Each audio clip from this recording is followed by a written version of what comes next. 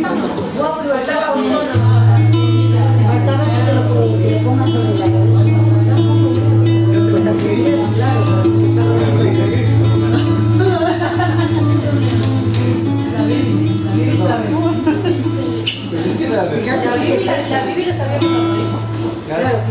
Fue la noticia que me dio, la verdad merece